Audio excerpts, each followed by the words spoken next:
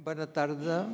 Benvinguts a aquesta sessió mm, que, que hi haurà el discurs de recepció de la nostra secció del doctor Flocel Sabater sobre percepció i identificació dels catalans a l'edat mitjana, que és un, un volum considerable, molt més extens que el que és, és costum de fer i li hem d'agrair molt que en molt poc temps ho ha fet. Aleshores, protocolàriament s'ha d'explicar una mica qui és, no cal fer-ho perquè penso que tots el coneixeu, però és el que toca fer. El Flocel Sabater i Corull va néixer a Igualada el 1962. Es va formar a la Universitat de Barcelona on es va doctorar el 1986. És professor de la Universitat de Lleida des del 1991 i actualment n'és catedràtic d'Història Medieval. La seva tasca investigadora s'ha centrat en l'estudi de l'agressivitat i els comportaments socials, l'administració de la justícia i l'articulació especial del poder. Té una obra molt extensa, integrada per llibres, capítols de llibres i articles en revistes indexades. Entre els llibres sobresurten l'expansió territorial de Catalunya, segles IX-XII, conquesta o repoblació, el territori de la Catalunya medieval, percepció de l'espai i divisió territorial al llarg de l'edat mitjana, història de Lleida, alta edat mitjana, i la feudalització de la societat Mm, perdó, en castellà, la feudalització de la societat catalana. De la, de la llista de projectes dirigits per ell, mm, veiem que més d'un investigador innovador i amb una gran capacitat de treball és un bon gestor. Ho confirma el fet d'haver creat el 2000 un grup de recerca consolidat, Espai, Poder i Cultura a l'edat mitjana, que ha estat el més valorat de Catalunya entre els de temàtica medieval per part de la GAUR en les convocatòries de 2005, 2009 i 2014. Ha col·laborat d'altra banda moltes vegades en coses de l'Institut d'Estudis Catalans, en, en eh, conferències, llibres, etc.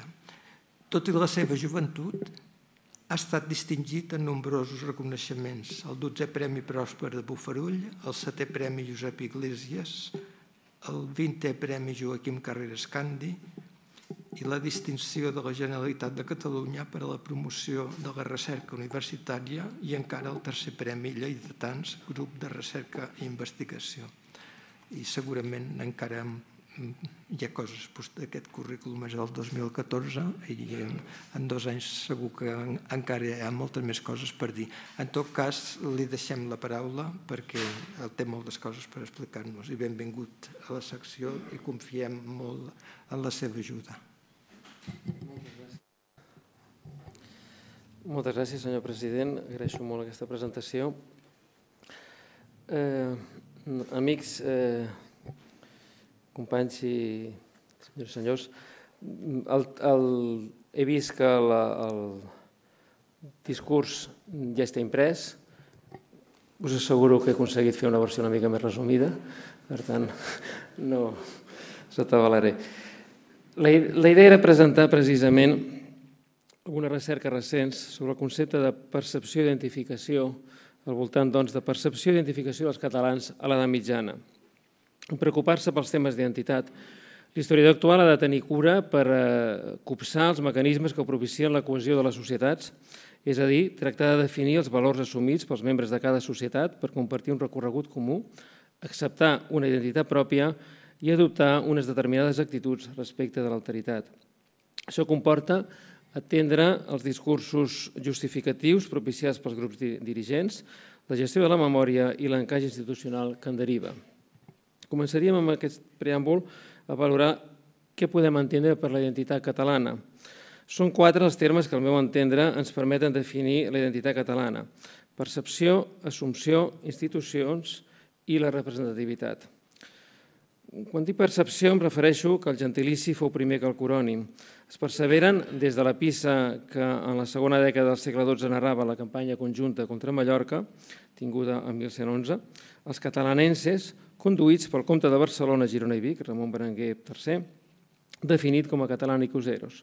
Aquesta gent procedia del nord-est de la península ibèrica, un espai aliè a qualsevol unitat física, política o administrativa, des que a finals del segle IX la crisi del domini carolingi havia virtualment desenganxat aquests comtats tan allunyats de la capital de la Frànquia Occidentalis a la que pertanyien. Entre el segle IX i l'XI, aquests territoris formaren comtats diferenciats, però alhora atrapats en unes circumstàncies frontereres similars, raó per la que convergiren en els aspectes polítics, socials, econòmics i jurídics, a més de palesar la comuna concordança cultural prou evident a l'evolució de la llengua vernàcula vers el català i les vies comunes en l'assimilació al romànic. Per això, aquestes terres es perceberen tan similars en arribar al segle XII. La transformació de la frontera havia propiciat l'estesa dels districtes castrals com a unitats jurisdiccionals bàsiques, que es mantindran en realitat fins al segle XIX, i les caslanies, sots infeudades fins a donar lloc a corrues de, de, de caslanies a cada castell que s'acumulen i es transaccionen com a renda bàsica en les acumulacions senyorials. Aquest és, doncs, en, en arribar al segle XII, un país de castells i sobretot de caslans. No és d'estranyar, per aquestes característiques, vesteixi el corònim amb què es percep el territori en el segle XII. En el segle XII, el comte de Barcelona absorbeix els altres comtats, accentuant sols els que mantenen una identitat jurisdiccional tot reconeixent la seva preeminència, és a dir, Cerdanya, Rosselló i Pallars Sobirà. Alhora que endreça les rendes interiors, aferma l'obertura al Mediterrani, malda per consolidar la presència occitània encetada el 1067 i afermada des de la recepció de Provença el 1112, i sobretot eh, constata, mm, ostenta des de 1162 el títol real sobre Aragó. La confluència d'aquests vectors damunt del titular comtal de Barcelona i Real d'Aragó avalen les seves pretensions de preeminència, tant a Catalunya com a Aragó, per bé que no podrà evitar, en la primera, la contundent fragmentació jurisdiccional i la feblesa exactiva que li fa necessitar permanentment d'ajuts especials per part de nobles, eclesiàstics i barons, i en la segona, una consolidació nobiliària eh, distanciada del monarca. Al llarg del segle XII es consoliden tant Catalunya com Aragó, Ben significativament, el fet que Catalunya i Aragó es consolidin separadament, malgrat compartir el mateix sobirà, reflecteix que el nexe vertebrador no és pas la dinastia, perquè en aquest cas s'hauria unificat en un sol territori, sinó la dinàmica de les respectives societats. Es tracta de dues societats, l'aragonesa i la catalana, prou definides com per desenvolupar, sense interferències, les piràmides nobiliàries, les evolucions culturals i lingüístiques i també els respectius radis de cohesió socioeconòmica. El 1162, el testament de Ramon Berenguer IV designava que el seu primogènit rebés tota la seva heretat tant a Aragó com a Barcelona. De tota manera, cap teleològica visió imposava la continuïtat d'aquesta suma d'ambdós territoris. La singularitat assolida per cadascun els permetia una continuïtat per si mateixos, sense que calgués mantenir-los junts. De fet, també havien estat units els regnes d'Aragó i de Pamplona des de 1076 eh, fins que el 1131, arran del testament del batallador, els nobles navarresos decidirien tornar a separar llur regne. Similarment, diversos acords feudals signats a Occitània, la segona meitat del segle XII, preveien mantenir la vinculació establerta en qui fos senyor de Barcelona en el cas que aquest no coincidís amb el titular d'Aragó. Així doncs, es surt del segle XII amb un territori percebut de forma unitària, més fàcil de descriure que de denominar, tal com ho planteja Alfons el Cast el 1173, en pretendre establir les seves constitucions de pau i treva indicta terra mea a salsis us quadertossam et ilerdam confinibus suis.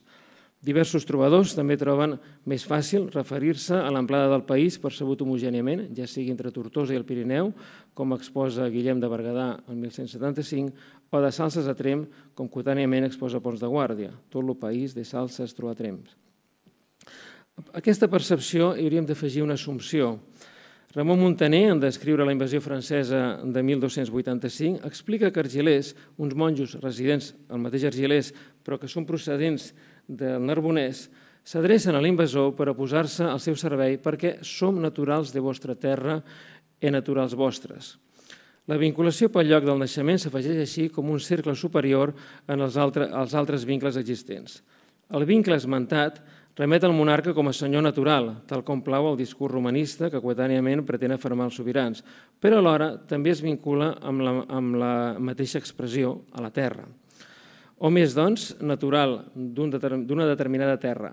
De fet, coetàniament, els principals senyors estan orgullosos de regir diverses nacions sobre diverses terres. La nació rau en tres compartits, com destacadament la llengua. Gens, llengües, nacions i pobles són termes sovint mesclats, com fan els diputats que en 1471 es refereixen a gens i nacions castellans, portuguesos, francesos, gascons, tudescos, provençals, italians i d'altres llengües i pobles. Eiximenis també mescla el gentilici catalans i el concepte nació catalana per a referir-se a aspectes tan quotidians com el comportament a taula, on tracta de demostrar que la nació catalana era exemple de totes les altres gens cristianes i menjar honest i en temprat beure. I conclusió que fonamenten diversos exemples, com per exemple que la nació catalana eh, esquiva excessivament tota su propietat en viure comú, i així va posant exemples de la nació catalana en els elements més quotidians. Així doncs, la nació està constituïda per una suma d'elements quotidians. Són les nostres maneres, en paraules de Pere el Cerimoniós.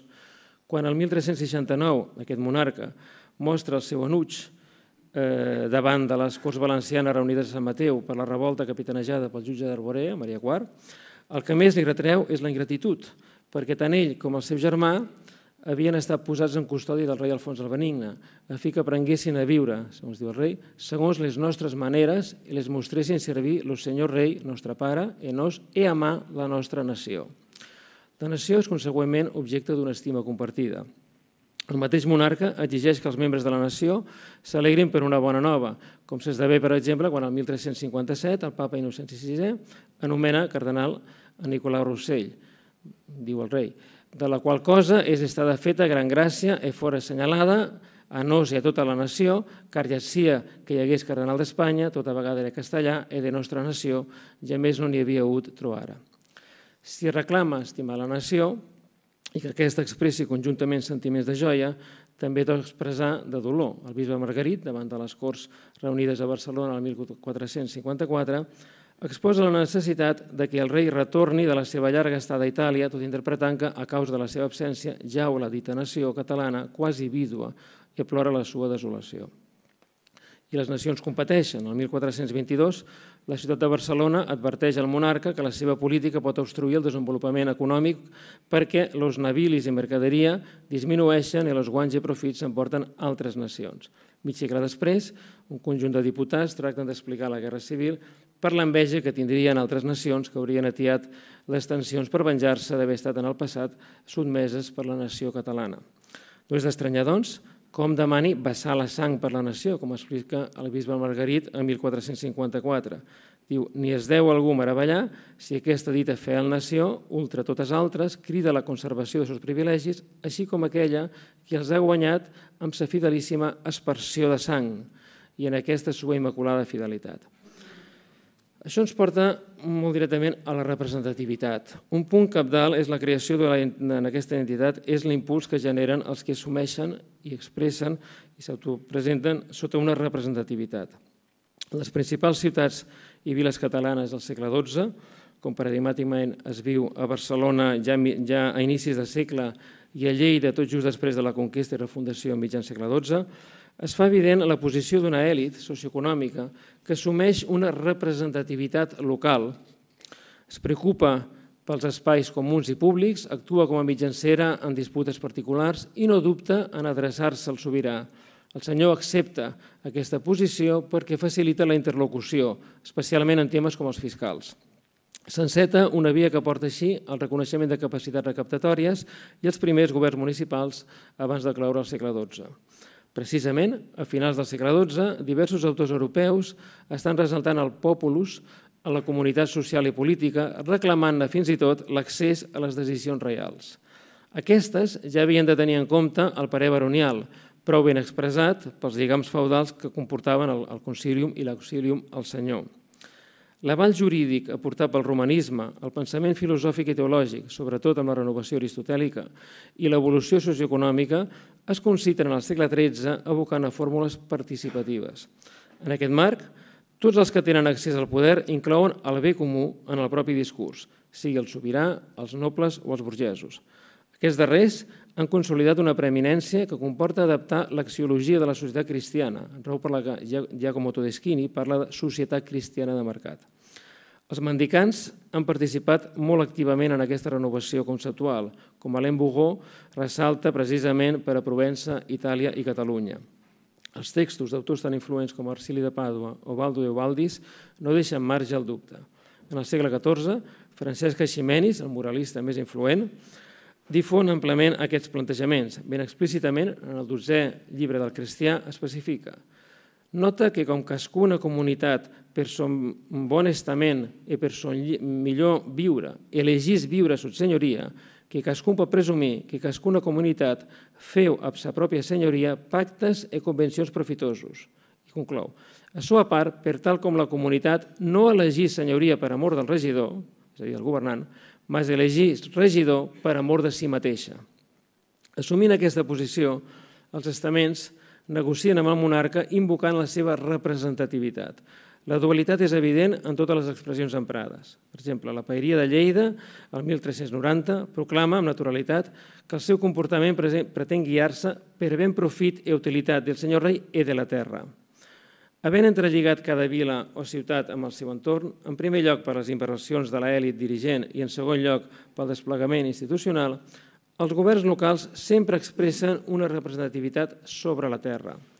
Amb aquesta representativitat, la terra s'identifica amb naturalitat amb tota Catalunya, com reflecteixen, per exemple, els governants de Girona, quan a finals del segle XIV expliquen amb naturalitat que estan actuant segons dret de la terra.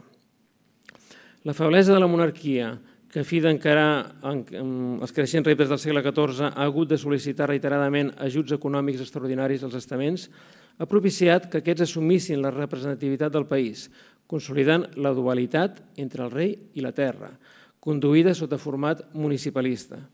Evidentment, en les negociacions es vellen els interessos oligàrquics del grup dirigent, però el discurs emprat es confon amb el país, allargassant una representativitat que contribueix poderosament a la cohesió de Catalunya. I això ens porta a les institucions. Les Corts assumeixen institucionalment la representativitat, en el segle XIII, i encara Jaume II el 1302, el rei exigeix als barons a participar a les Corts com a indicador de la superioritat règia. Aviat, però, els estaments reunits en Corts assumeixen un caire representatiu del país. La identificació amb el respectiu territori incrementa aquesta visió. Per exemple, la ubicació de la Ribagorça al 1300 i de Fraga al 1384 comporta un enfrontament entre diputats aragonesos i catalans, cadascun invocant arguments identitaris sobre aquests territoris. La dualitat inherent a les Corts aferma la identitat de Catalunya, representada pels seus diputats enfront del monarca, tal com ja es planteja a les Corts de 1283, identificant els estaments amb la terra. El discurs de preeminència règia, aportat pels juristes eh, romanistes, avalen al monarca la general jurisdicció sobre el conjunt del territori. En el país, des del segle XIII al XIV, eh, se'n fa reivindicació Mm, Jaume II molt clarament, i fins i tot eh, es visualitza una plasmació territorial d'aquest pretès poder superior en estendre Jaume II al 1301 el primer mapa de vegueries reals sobre el conjunt de Catalunya.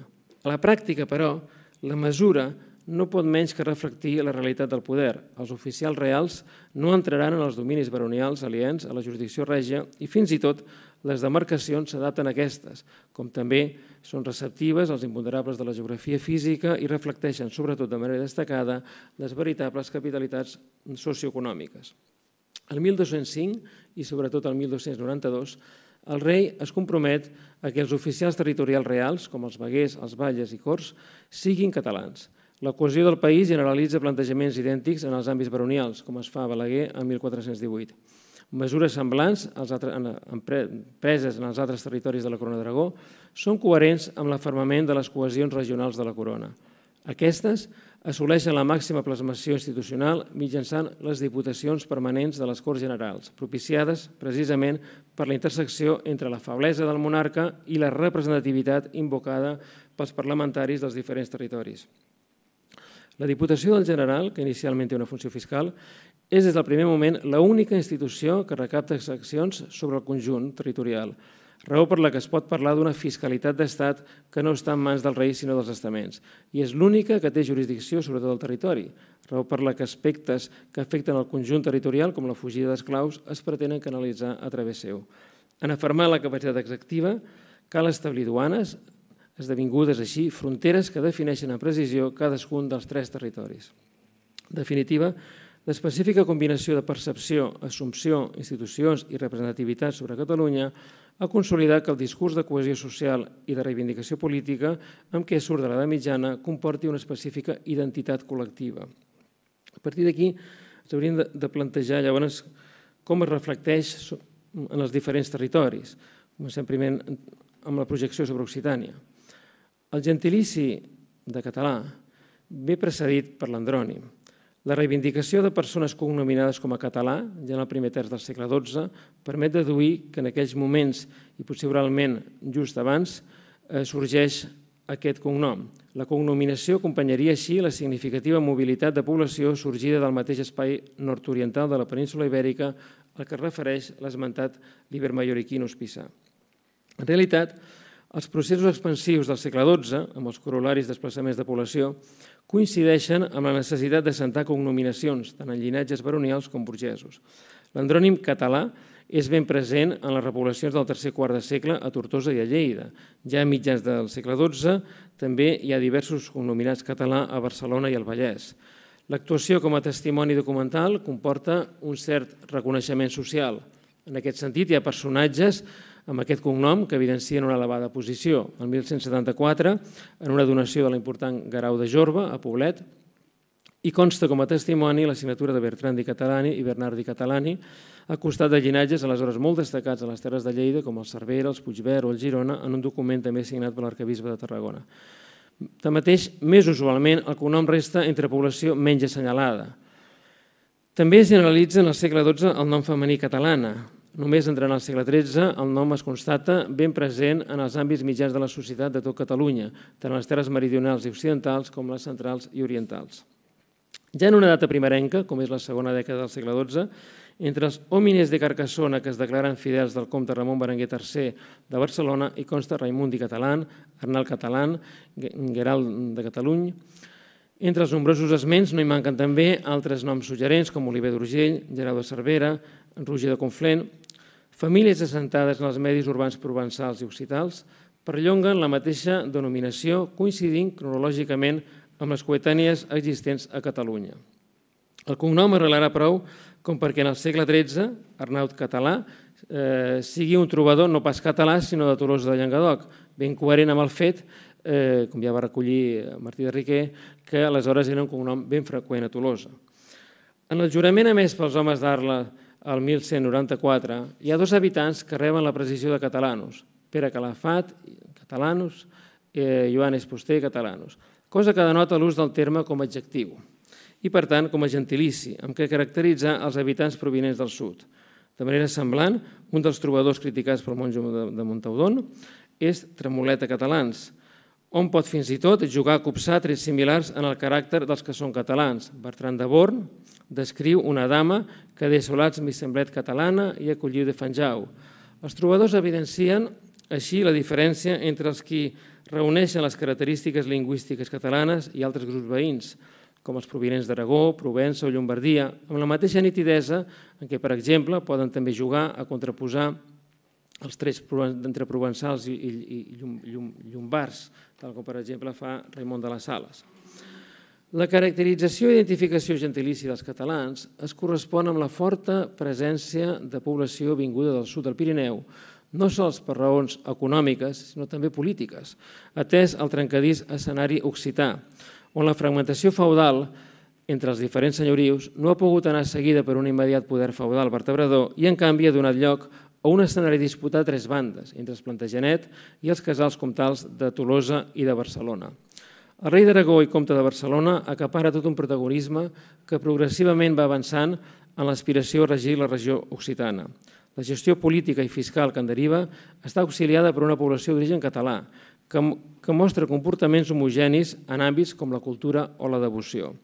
De manera ben generalitzada, el sobirà és esmentat com a rei d'Aragó, atès a la importància del títol real, mentre que el seu entorn és percebut i identificat com a català.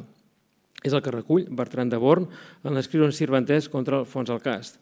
En realitat, el protagonisme assolit i empès pel comte barcelonès el mena amb naturalitat a presidir i identificar entorn seu els catalans allà on intervé i actua.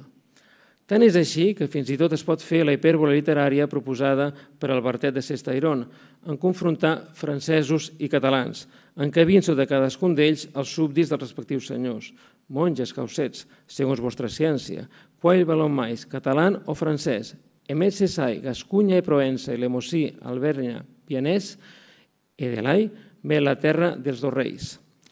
És, sens dubte, un joc literari hiperbòlic, però posa en evidència l'extensió del gentilici català, la seva assimilació amb la preeminència del titular de Barcelona i, a partir d'aquí, l'entrada en usos hiperbòlics del gentilici gràcies a la relació entre els sobirans considerats catalans i els seus súbdits, que poden passar a rebre la mateixa consideració.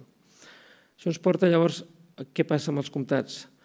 A la, a la sortida del segle XII, com estem veient, el corònim Catalunya es mostra plenament instal·lat. Ultra les afinitats culturals, lingüístiques i socioeconòmiques, també hi ha una relació política a través de la preeminència del comte de Barcelona. El sistema comtal havia arribat a la seva obsolescència en el segle XII. Coherentment, el titular de Barcelona no repeteix els títols comtals absorbits en el mateix segle XII, sinó que els entenen cabits dins de la titulació barcelonesa les entitats comtals ja sols tindran sentit quan eh, responguin a un a una, a una plantejament jurisdiccional, com és el cas de l'Urgell i de Pallars Sobirà.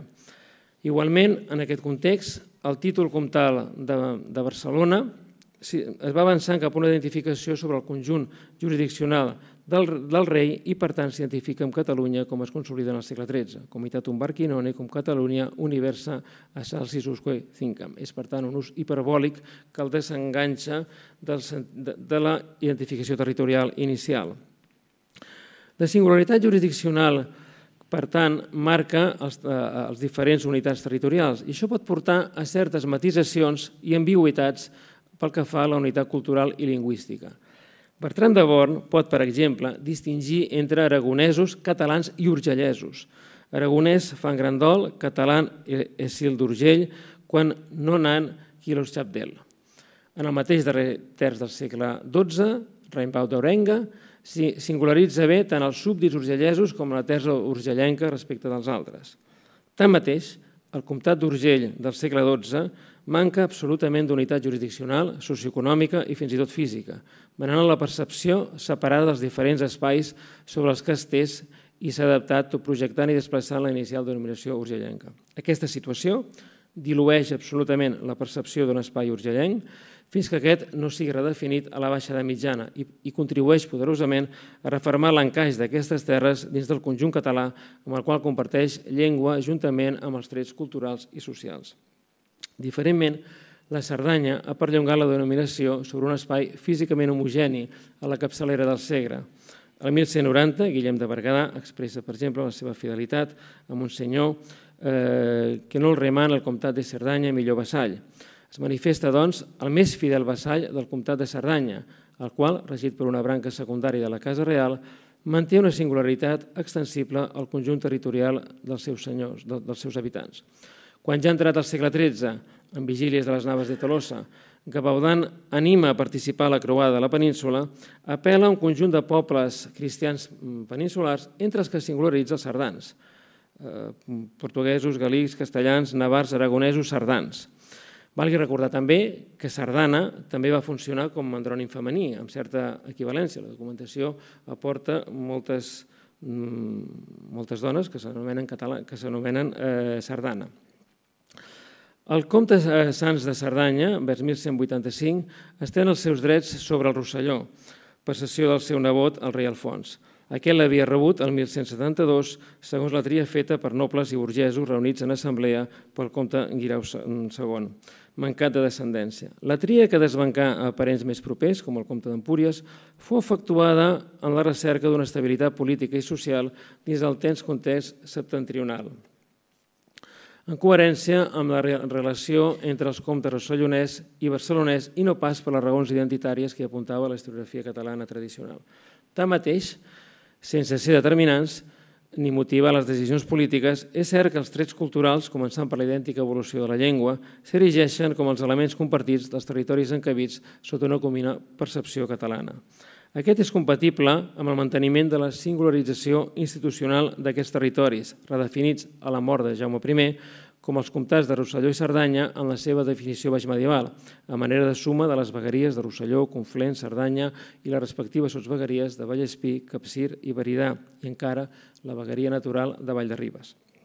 La singularitat d'aquests comtats es mantindrà dins del Regne de Mallorca, reintegrats a la Corona d'Aragó el 1344. Amb dos comtats mantindran l'aparellament i la singularitat jurisdiccional, expressada en aspectes com l'ordenament monetari, l'estructura de les comunitats jueves o l'articulació de la defensa, així com, ben visiblement, l'actuació d'institucions pròpies centrades a Perpinyà, veritable pern vertebrador que interpreta amb naturalitat els comtats de Rosselló i Cerdanya com el seu espai de projecció social, econòmica i política.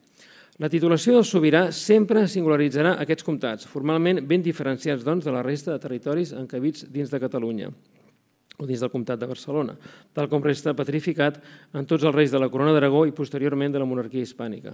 Precisament, la percepció separada d'ambdós territoris ha facilitat que políticament es poguessin negociar entre els sobirans francesos i hispans fins a la definitiva divisió del Tractat dels Pirineus de 1659. Quin és l'abast real d'aquesta singularització pel que fa a la identitat assumida?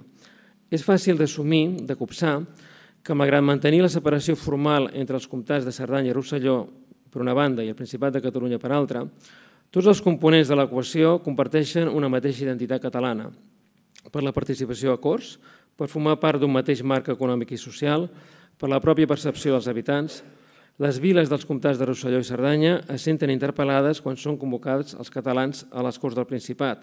El marc cultural i lingüístic és, en realitat, el mateix i es comparteixen gentilici i coronònim catalans. Per exemple, el trobador rossellonès Berenguer de Palou és presentat com a, com a de Palassol si fou de Catalunya del comtat de Rossellón, alhora que s'estén, per exemple, que la costa rossellonesa s'inclou dins, dins de les disposicions emeses per Alfons el Liberal el 1286 sobre naufragi inalicubis loquis Catalonia.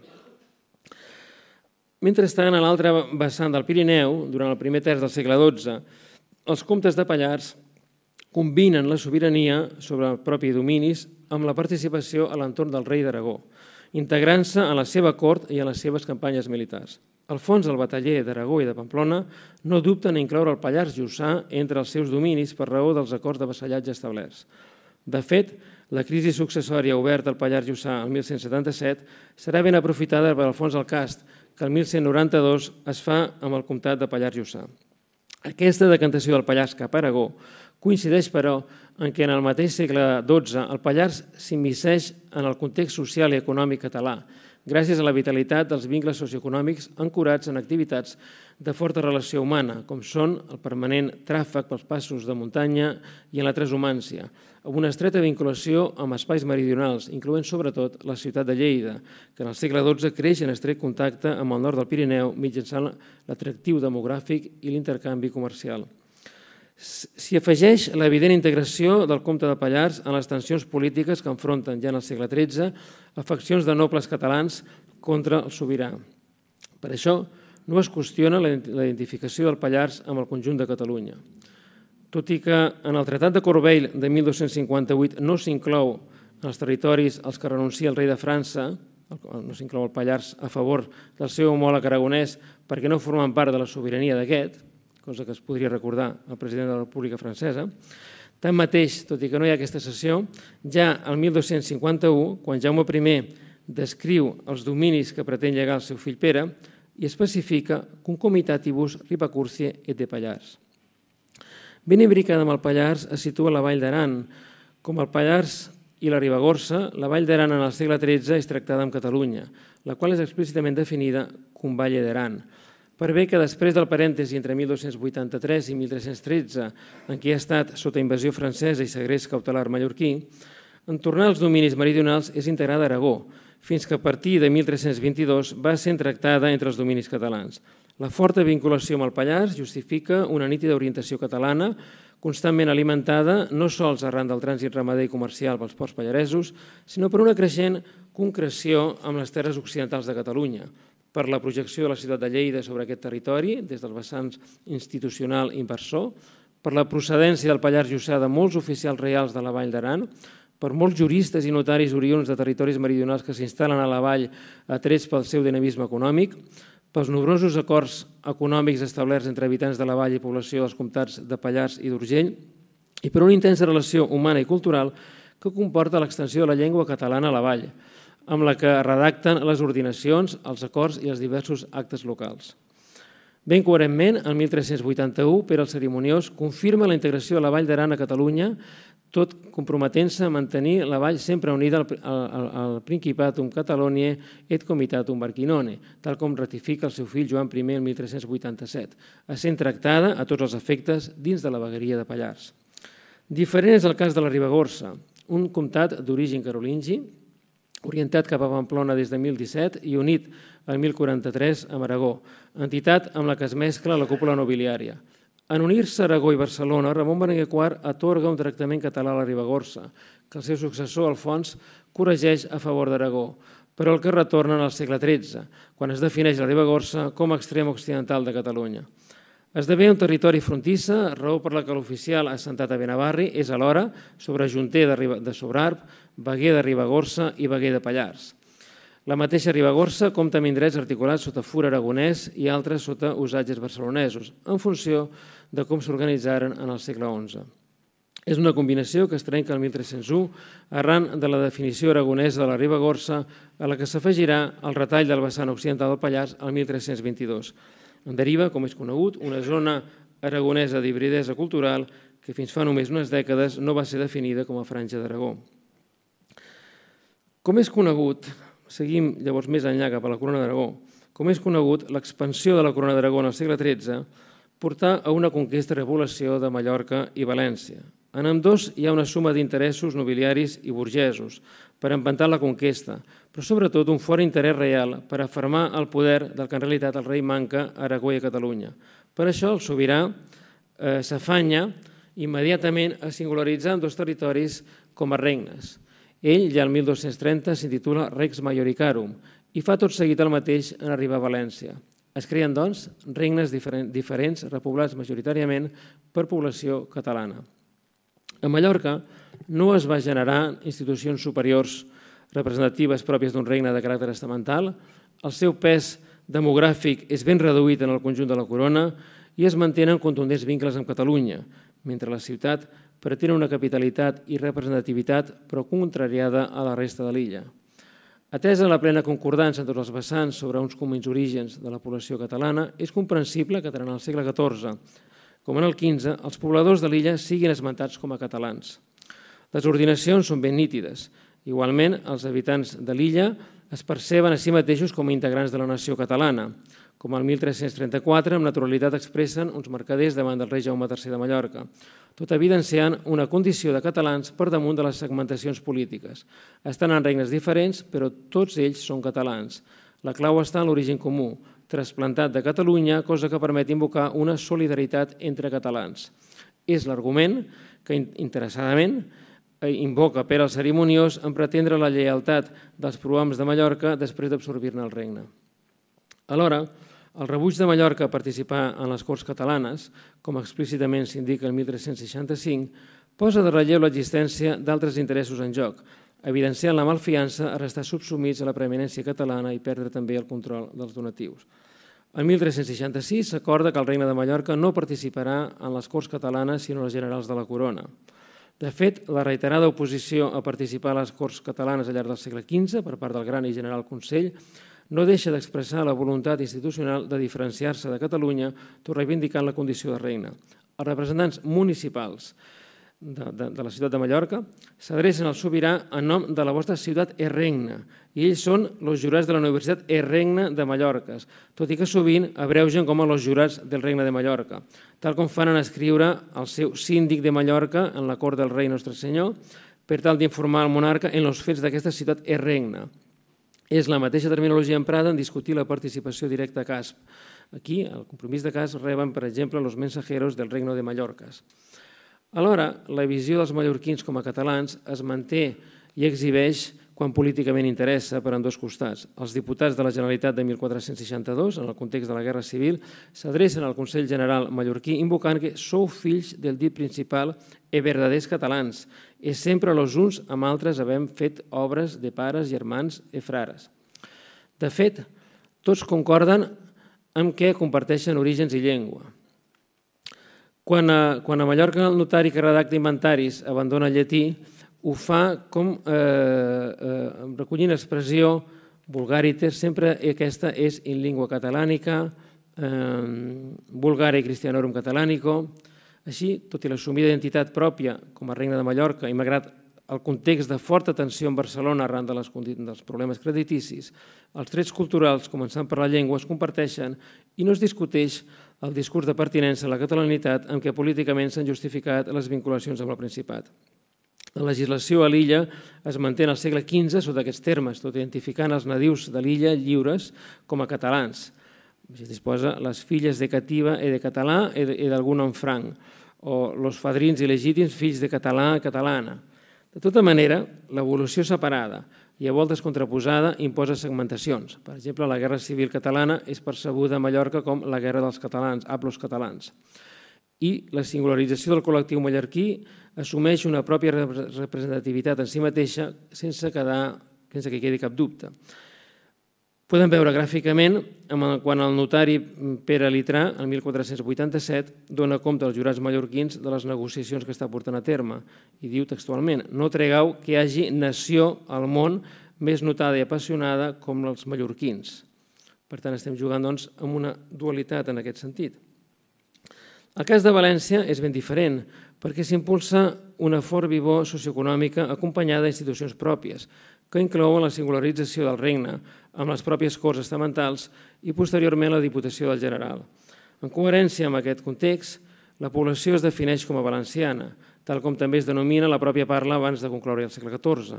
El progressiu afermament del vigor econòmic, social i polític de València, que en el segle XV concorda amb l'afebliment de la influència catalana, anirà accentuant la denominació pròpia i l'assumpció com a trets identitaris de particularismes com els emprats en la llengua. Aquesta assumida singularització valenciana no nega l'evidència que la llengua i els trets culturals són pràcticament eh, els mateixos, siguin formulats en valencià o en català. Això explica que al mateix temps el concepte de nació catalana ho embolcalli tot. On pot sospitar-ho, reprenent les esmentades paraules del rei Pere el Cerimoniós, queixant-se el 1369 davant de les Corts Valencianes reunides a Sant Mateu, perquè el jutge d'Arborea, Martí IV, encapçala una revolta a Sardenya malgrat haver estat educat a l'entorn real i, per tant, formaten a mà la nostra nació. Doncs quina nació? La catalana o la valenciana o les dues alhora? La resposta és més clara si es guardem els conflictes a la valenciana Vila d'Oriola, que des d'un punt de vista diocesà depenia del bisbe castellà de Cartagena, cosa que a les primeres dècades del segle XV havia comportat greus tensions amb les seves inherents conseqüències econòmiques i espirituals. En aquest context, el 1433, els jurats oriolans es queixen no solament per l'odit bisbe que apresenés i encara per tots els passats que contínuament són castellans i han acostumat a favorir els de nació castellana desfavorint els de nació catalana. La nació catalana, doncs, pot ser entesa com un embolcall superior que plega tots els que comparteixen els mateixos trets culturals, començant per la llengua. Oriola, capital del sud del Regne de València i en fort contacte permanent amb la castellana Múrcia, pot reformar la seva identitat definint-se precisament com a catalana per raó de la llengua, reforçant aquesta identitat mitjançant drets culturals com la trobada de la Verge de Montserrat, que des del segle XV s'atribueix a 1306, és a dir, l'any després d'haver passat aquestes terres al Regne de València. Clarament, des de la ciutat i el Regne de Múrcia, els oriolans són sempre percebuts i esmentats com a catalanes. El punt identificador és la llengua, en aquesta frontera d'intens contacte amb dos vessants excepte la llengua de l'altre, practicant un bilingüisme passiu, en el que Ocasionalment, fins i tot, l'adelantado major del Reino de Múrcia s'adreça als veïns d'Oriola en català. La llengua identifica, per tant, eh, a uns i altres com a castellans i catalans, que és el mateix que es pot trobar en Vicenç Ferrer més tard, quan, quan els serrans valencians els tracta com a catalans. Això ens porta a parlar què passa amb l'expansió a la Mediterrània. La puixança del llinatge comtal barcelonès es corona amb el títol reial aragonès, com hem dit, el 1162. La condició règia situa el comte de Barcelona per damunt dels altres nobles catalans i s'erigeix en un argument capdalt per a la consolidació del seu poder a Catalunya. Tothom copsa a la seva posició personal superior com a rei, tractant-lo amb aquest títol i no pas en funció de la titulació que seria pròpia del respectiu territori. Clamamus ad regem, invoquen, per exemple, el súbdits de Font Rubí, al Penedès, en fer-li arribar unes queixes. Semblantment, trobadors com Bertran de Born identifiquen el barcelonès com a l'O rei d'Aragó. La pluralitat de dominis i de situacions pròpies de monarques europeus baix medievals facilita la recerca d'expressions a tota Europa que compendien el conjunt de titulacions sota un mateix senyor. Així, tot tractant de contribuir a la consolidació del poder regi, una de les abstraccions més usuals a l'Europa que enceta la baixa de mitjana és el de corona. No és una singularitat, el podem trobar a molts indrets. En aquest context, l'expressió corona d'Aragó permet reivindicar la jurisdicció reial ja en el segle XIII, nunquam vos de corona Aragonam separemus, i sobretot en el XIV, ad coronam Aragonam devolvantur. Tot just entre la centúria següent, la mateixa expressió és emprada per a significar el conjunt de territoris sota la dinastia o casa d'Aragó, tal com es diu el 1410, quan en el context de l'interregne es preveu l'actuació de lo Principat de Catalunya ensems amb els altres regnes e terres de la corona reial d'Aragó. Així es defineix, en darrer terme, una dualitat entre el conjunt de territoris encabits en la corona i el sobirà d'aquesta. De tal manera que, com proclama la reina Maria a les Corts de Lleida de 1440, totes les actuacions seran a honor, servei i exaltació de la corona d'Aragó i del dit, rei, del, del dit senyor rei, de la corona d'Aragó i del dit senyor rei. L'expressió corona d'Aragó és emprada doncs, per esmentar el conjunt de territoris. En l'ensemblatge de territoris sota aquesta corona, el discurs justificatiu accentua inicialment el pes del llinatge aragonès, a fi de valer, sobretot, davant del papat, una continuïtat beneïda per l'Església des del rei Sant Ramir fins a la coronació de Pere el Catòlic a Roma el 1204, amb tota la intenció de formar un suport papal que tanqui definitivament les tensions obertes arran del desplaçament del testament del batallador. Aquesta preocupació legitimista perd sentit en el nou context polític, territorial i social que ocupa el segle XIII. En canvi, durant aquesta centúria, durant el segle XIII, s'han consolidat els arguments jurídics, religiosos, teològics i socials que van afavorint l'herència agnàtica, amb els corresponents arranconament femení en els diferents àmbits de la societat. I concorden les, les explicacions biològiques sobre la transmissió de qualitats i virtuts. Ben cobrament, a Europa, les diverses monarquies coetànies assumeixen que la legitimitat del sobirà no deriva de cap acte jurídic o cerimonial, sinó de la successió biològica, la única que garanteix la permanent i ininterrompuda continuïtat de la institució monàrquica a través de la respectiva dinastia. Dins d'aquest marc, en el segle XIV, Pere el Cerimoniós assumeix sense cap dubte la transmissió agnàtica de la dinastia, identificada amb la Casa Comtal de Barcelona, que és l'única que aporta continuïtat i legitimitat mitjançant la constant i regular successió des de Guifré el Pilós, que s'adopta com a punt de partida. Davant de l'evident feblesa enfront dels estaments, arran de les migrades bases jurisdiccionals i rendístiques, el monarca contraposa el discurs d'enaltiment de la continuïtat dinàstica. No hi ha contradicció, doncs, entre la invocació de la continuïtat dinàstica barcelonesa i la ponderació del títol real com a més destacat i principal, de tal manera que el mateix sobirà resumeix la seva titulació com a rei d'Aragó, el mateix títol amb què és sempre invocat per tothom i aquesta consideració tan elevada confereix el nom a la casa dinàstica. En coherència, la casa real es percep com la dinastia barcelonesa d'Aragó. Per això, Ramon Montaner ens mostra els almogàvers combatent en terres vicentines engrescant-se cridant Aragó en Aragó, d'acord amb la tradició feudal d'invocar el llinatge al que serveixen. De manera ben semblant, quan el monarca assumeix el seu regne de Sardenya o actua en el seu regne de Sicília, ell mateix continua presentant-se com a lo rei d'Aragón. I encara Ferrante, fill del magnànim que regirà Nàpols separadament ja de la corona d'Aragó, fruirà del reconeixement com a membre de la Casa d'Aragó, tal com es perllongaran els seus descendents. Conseqüentment, les conquestes a la Mediterrània es fan en nom de la Casa d'Aragó tal com s'espera a Sardenya 1411. La fi i conclusió desitjada de la dita conquesta, la qual està en fort poc en ésser subjectada a la Casa d'Aragó. De manera semblant, a Sicília, el mateix 1411, en el context de l'interregne, en què són morts els senyors reis d'Aragó i de Sicília, els rebels a la corona d'Aragó pretenen fer dan e destrucció de la dita Casa d'Aragó, raó per la qual són preses i robats mercaders catalans. Per això cal esforçar-se en conservar aquest regne per la Casa d'Aragó, perquè altrament tota la nació catalana fora estirpada d'aquest regne. I els catalans, a fi que els catalans haguessin rei pel seu compte i els sicilians per li, és a dir, separar catalans i sicilians. És a dir, amb tota naturalitat, aquest relat ens ha posat a costat, com a dues parts de la mateixa realitat, la Casa Reial d'Aragó i el gentilici dels catalans. Certament, arreu, els qui protagonitzen l'expansió, sigui comercial o sigui militar, sobre la Mediterrània, no són esmentats en funció del llinatge de llur sobirà, sinó per com són percebuts, és a dir, com a catalans. Són accions de les que responsabilitza a la globalitat dels catalans, emprant, doncs, el gentilici i no pas el referent a la corona. A la Mediterrània Oriental, tots són coneguts com a catalans, tal com es constata, per exemple, a Bizància, Creta o a Xipre ja a inicis del segle XIV. L'historiador bizantí Paquímeres descriu un combat explícitament presentat com un enfrontament entre genovesos i catalans, corresponent als primers anys del segle XIV, quan la companyia expedicionària formada per tropa ociosa, després de la pau de Caltabellota de 1302, entra al servei de l'emperador romà d'Orient, a l'imperi de Romania. De fet, són percebuts com a catalans per uns i altres. Per això, on pot referir-se al 1307 als catalani quin Gallipoli moravantur. En combatre les terres gregues són descrits com la Companyia de Societat dels Catalans, Societatem Catalanorum, en establir-se com a possessors dels ducats d'Atenes i Neopàtria, respectivament a partir de 1311 i 1319, continuen sent vistos com la companyia dels catalans, mines de companyia catalanos.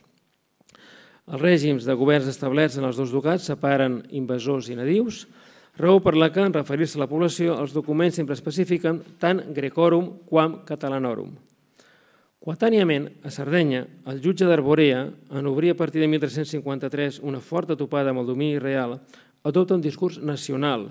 Per aquesta raó, la revolta no es justificarà per un conflicte entre dos senyors, sinó entre dos pobles, el sard i el català.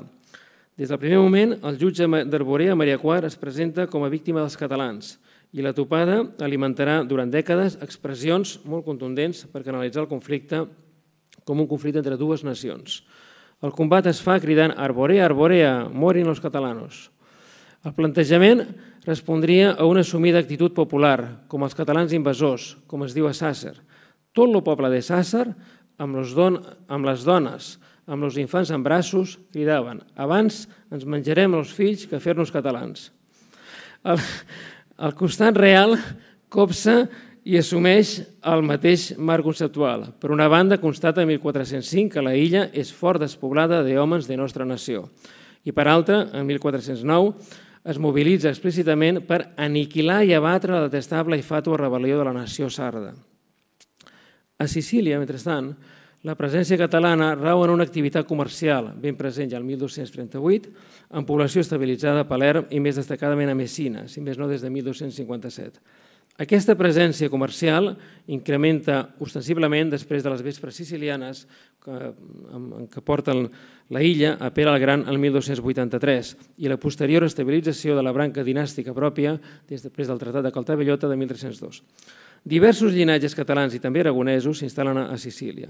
En el fragmentat escenari sicilià dividit en bàndols, hom situa aquestes famílies sota un posicionament similars, i encara que hagin establert lligams amb famílies nadiues i basin els seus interessos en els recursos de la pròpia illa, s'interpreta que comporten el bàndol dels catalans. De fet, Sicília s'endinsa en el segle XIV en una veritable guerra civil entre dos bàndols, entre, entre uns que són els llatins i els altres que són els catalans, malgrat que uns i altres integrin població autòctona. Per tant, encara que siguin en realitat autòctons, com que formen part d'aquest bàndol, són coneguts i esmentats com a catalans. Això ens porta a un altre plantejament. Ser tractats com a catalans, terra i mar enllà, a gent que potser doncs, no és d'aquest origen. Podem començar a veure-ho en els capítols dels consulats dels catalans a Bruges, que foren redactats com los capítols et ordenacions fetes per als mercaders catalans qui són a Flandes, sotmesos del molt alt senyor rei d'Aragó. A fi de, però, diu tot seguit, que estan allà per atendre, els cònsuls, los mercaders catalans habitants en la vila de Bruges. Tot seguit, segueix dient la documentació, que amb aquesta finalitat tindran totes les naus que vendran i partiran de Mallorca, o de Catalunya o del Regne de València i tenen en compte que els mercaders fossin de Catalunya, de Mallorca o de València. Tot i que els cònsuls, per tant, estan designats per la ciutat de Barcelona, arreu els consulats dels catalans no senyien la seva actuació a la nació catalana invocada en la seva representació. De fet, en convertir sobirà, la percepció sovint aplega uns i altres en tots els aspectes. Per exemple, a Sorrento, en 1438, en un document notarial, podem trobar que es preveuen actuacions efectuades per catalanos seu aterentes regi. No sols es tracta, doncs, que els mercaders provinents dels diferents territoris de la Corona d'Aragó siguin atesos en el consulat dels catalans, sinó que tots ells puguin ser considerats com a catalans. Així es pot apreciar, apreciar a Ragusa, l'actual Dubrovnik, on són explícitament presentats com a catalans mercaders vinguts de Rosselló, de Mallorca o de València. El factor lingüístic pot ser força determinant quan els aragonesos, tot i ser atesos per el mateix consulat, són, en canvi, mm, singularitzats pel seu propi ètnic, Petrus Martínez d'Aragònia, Dominic Ferrer d'Aragònia. Resumir com a catalans a tots els que empren aquesta llengua també es constata a la Castella del segle XIII, en referir-se a Múrcia. Aquest regne havia rebut una forta immigració de parla catalana en el darrer terç del segle XIII. Després de que el 1296 Jaume II endega la conquesta del regne de Múrcia, la crònica de Ferran IV de Castella sempre parla d'un contenciós territorial entre dos sobirans, el rei de Castella i el rei d'Aragón. Però entenc que la conquesta ve facilitada per aquests immigrants. Diu, movió el rei de Aragón con su oeste y fue al reino de Murcia, y por consejos de los de la tierra, que eran catalanes, diéronseles todas las villas y los castillos, salvo Lorca, que moraven castellanos, i otros sí, Alcalà i Mula. Es contraposen així, de manera genèrica, castellans i catalans, cadascun d'ells mantenint una definitiva vinculació, no pas amb la zona de residència, perquè tots són i residien a Múrcia, sinó perquè entenen com a, sinó perquè entenen com a respectiu senyor natural en un sentit de col·lectivitat gentilícia i lingüística. És a dir, els castellans els que parlen castellà amb el rei de Castella i els que parlen català amb els súbdits del rei d'Aragó. S'evidencia en qualsevol cas, en un context de mescla immigratòria i lingüística, que els habitants del regne de Múrcia que parlen català són identificats com a catalans. De fet, si comparteixen la mateixa cultura, començant per la llengua, fàcilment seran copsats sota el mateix epígraf català, com recull, per exemple, un notari valencià que el 1370 tracta com a catalans els mercaders valencians naufragats dins d'una nau castellana davant Portugal i, i van relatant i refereix alguns mercaders catalans, entre els quals Joan Roca, mercader de València. Aquest plantejament facilita la disquisició entre catalans i aragonesos, tal com l'empra Jaume II el 1305, quan parla s'adreça a les autoritats genoveses, tot especificant aragonenses i catalani que en part de Romania, però tanmateix també els aragonesos poden ser tractats com a catalans. A l'Estudi General de Bolònia, els estudiants provinents dels diferents indrets de la Corona d'Aragó s'agrupen a la Natio Catalanorum, ben diferenciada de la Natio Espanyola, en la que s'integren els estudiants de la resta de la península. Un pot apreciar en aquest comportament un sentit pràctic. Al cap i a la fi, a tots els estudis generals, els estudiants s'agrupen en funció d'unes nacions estabilitzades, cercant les que li resti més propera en qualsevol sentit. Tanmateix, alhora, en molts altres casos, la denominació de català es generalitza sobre conjunts ben amples de súbdits de la Corona d'Aragó, a manera de gentilici comú per a tots. A 1408, per exemple, els defensors de la cort papal avinyonesa de, Benet XIII es defineixen i són percebuts conjuntament com a catalanos. Es poden fer així diferents combinacions segons el nivell de relació.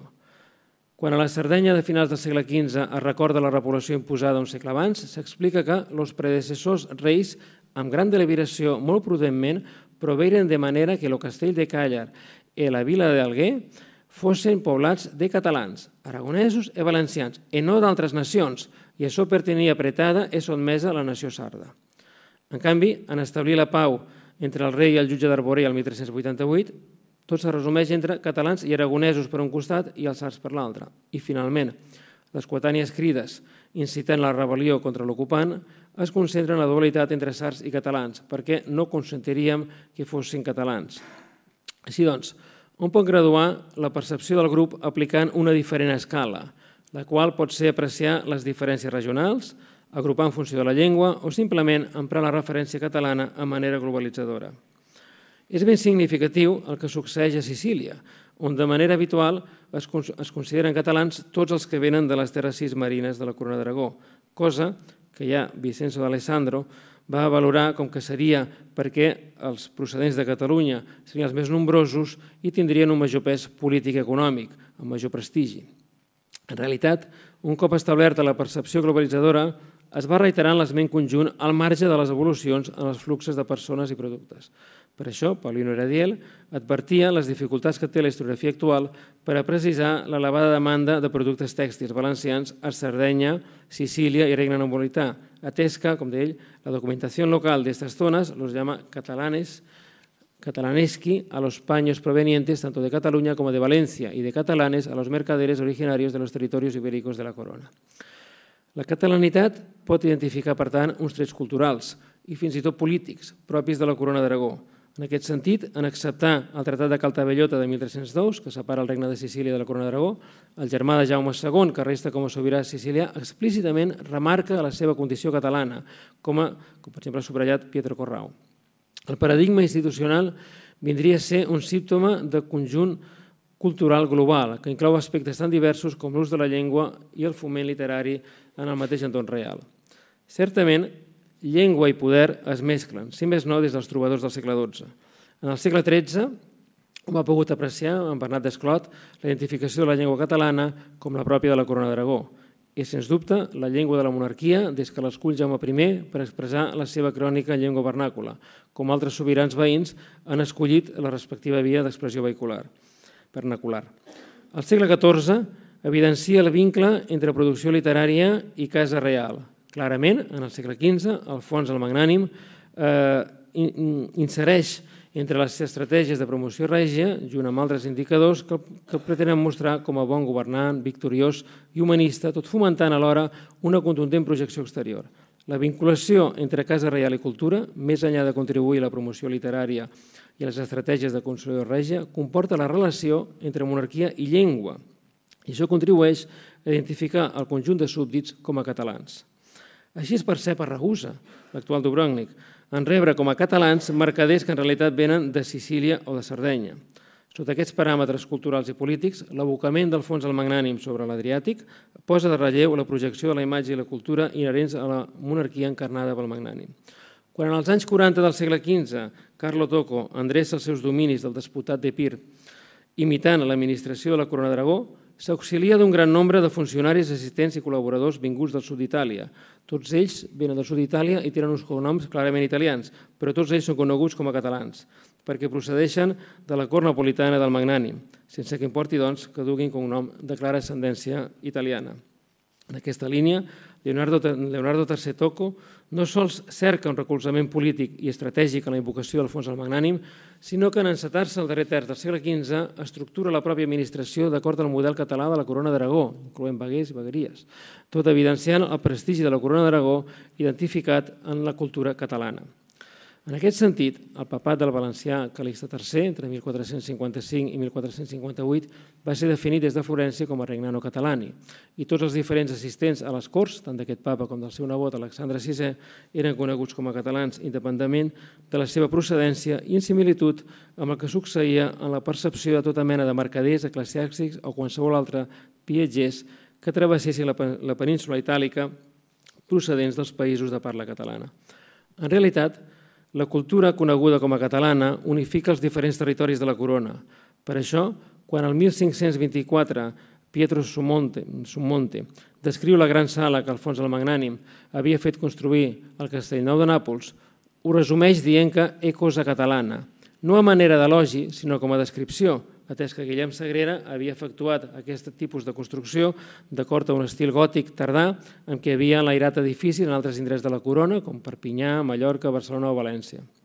De fet, el gòtic català es percebia com un model constructiu que acompanyava l'expansió dels nous pobladors vinguts de la corona d'Aragó en els segles XIV i XV. Si el vigor polític i cultural s'hi afegeixen el prestigi, la denominació catalana es popularitza amb facilitat a Itàlia a partir del focus napolità, Valgui esmentar els llibres de cuina que s'estenen al pas del segle XV al XVI. Molts dels plats així escampats afegeixen el qualificatiu de ser a la catalana. La catalanitat es mescla amb les formes culturals doncs, escampades des de Nàpols i l'adopció de la llengua catalana perllonga el prestigi. A Nàpols mateix, per exemple, el llibre el qual ha compost el dirigent mestre Robert, coc del sereníssim senyor Don Ferrando, rei de Nàpols, fou escrit ja separadament de la corona en català en un regne napolità, com dic, separat de la matriu catalana-aragonesa. Finalment, si la cultura vehicula les vies de cohesió, també reflectirà els canvis en la viabilitat social i econòmica i política. D'entrada, el conreu del català a la cort real es compatibilitza amb l'ús literari del castellà a les corts d'Alfons el Magnànim i de Joan II, amb poetes bilingües que escriuen en català i castellà, com Pere Torroella i Francesc Moner. A la Roma d'Alexandre VI, el predomini del català es compatibilitzava amb una tensió del castellà dins d'un context de clara hispanofília. De fet, a finals del segle XV, mentre a Roma el català continuava predominant, a Nàpols ja havia estat depassat pel castellà, com també a l'entorn real de Ferran el Catòlic. És una situació que descavalca el català de la cursa per la regulació i normalització que quotàniament mantenen altres llengües de la mà de Nebrija, Bembo, Oliveira o Dibelei. En realitat, la unificació dels regnes de Castella i Aragó en 1479, tot i la lògica independència institucional, d'acord amb el model medieval d'agregació de dominis sota el corresponent sobirà, es podia alhora interpretar com la confirmació del teleològic destí de la monarquia castellana en establir una continuïtat entre la monarquia visigoda i la recuperada Hispània del segle XV, tal com confirmaran els funcionaris i escriptors responsables de gestionar la llengua i el relat històric. L'humanisme facilita la represa de la perspectiva hispànica, prou evident en autors catalans com Jeroni Pau, per bé que la reivindicació de la preeminència castellana sorgeix de la mateixa vitalitat de la corona de Castella. No sols les institucions i la gestió política, sinó destacadament la llengua i la cultura, esdevenen els portadors de la preeminència castellana. La forta cohesió dels respectius territoris constitutius de la Corona d'Aragó facilita que en el segle XVI el sobirà de la monarquia hispànica prefereixi tractar separadament els diferents territoris provinents de la Corona d'Aragó, incloent la singularització del govern dels dominis italians mitjançant el Consell, el Consell Específic creat el 1555. Josep Itabani lluar que el el recorregut cultural de la Corona d'Aragó culmini en el Renaixement, bé que claudicant de la pròpia llengua, que deixa pas al castellà. Pròpiament, es viu a la clausura del període medieval i l'apertura d'un nou escenari. Aquest concorda amb la redefinició dels estats i de la gestió de govern que afecta tota Europa i que les terres de parla catalana es concreten en el procés d'adequació del llegat medieval des de la monarquia hispànica. És una via que arribarà fins i tot a obrar de la memòria aquest conjunt que havia estat percebut sota el gentilici de català. Moltes gràcies. Thank you.